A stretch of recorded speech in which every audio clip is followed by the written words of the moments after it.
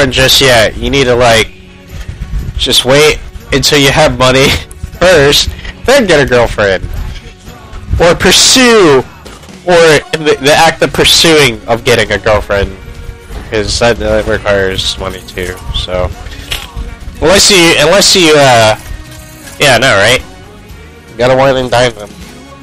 Unless you get lucky and find that and uh, voice crack and find that girl who's like, no, let's just stay at home and play video games and shit and eat ramen and mashed potatoes.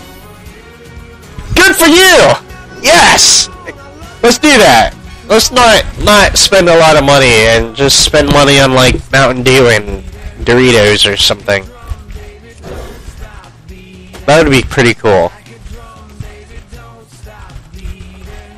Or like play video games and stream on a PC. Sh- Uh, that's not being too vague, is it? Job's done. Oh, really? That's that's not very big at all. That's not very big.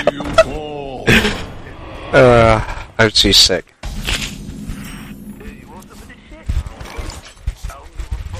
Yeah, I hear you, man. I hear you.